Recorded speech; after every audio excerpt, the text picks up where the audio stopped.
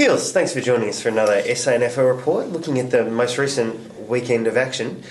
Callum Hay really starting to show some form at local level. Yeah, it's pretty unfortunate the timing with Callum. He's had a, a horrid year with injury, and um, you know it's certainly great for him that he was able to play play very well for North Reserves. Um, they've got one more game, and hopefully they qualify for the final, so he can stretch his season on a little bit longer. But no, it was it was pleasing. It was the sort of footy that got us that got us interested in him in the first place. Probably a lot of fans don't know a lot about him because given that he's been injured for the majority of 2011. What can you tell us about him? Uh, yeah, look, he's probably a, a, a winger, a halfback, a running running type player. Um, good in the air, got great aerobic ability and good speed when he when he's up and going, and, and he showed all of that on the weekend. And and um, as I said, it was it was easily his best game for the year. So hopefully he can continue that on. We also saw Jarrad Redden continue his fine form as the development manager at the club.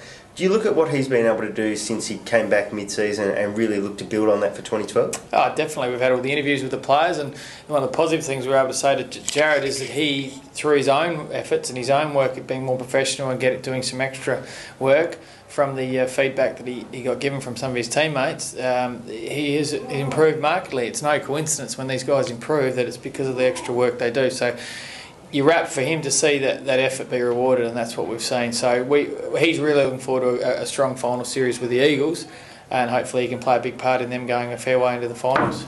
With the final season coming up in the SANFL, what do you look to, to get out of that for the players? Is it just a terrific experience for them to be involved in, in a finals campaign? Yeah, it is, especially for the ones who uh, haven't played AFL before. This is, this is by far a higher standard than um, mine around SANFL, and so it's as close as they can get to testing themselves at, at, a, at a higher level. And it's really, you know, the grand final is 30 odd thousand. It's a fantastic experience. And all our young kids that are playing, all, all, the kids that are going back and playing, are really excited about that. And, and we, we, we hold it in grade. For some of them, it'll actually keep them on their list or get them an, an extra year on our list. So it's a very important month for us, our players. Heels, thanks for your time. Thanks, boys.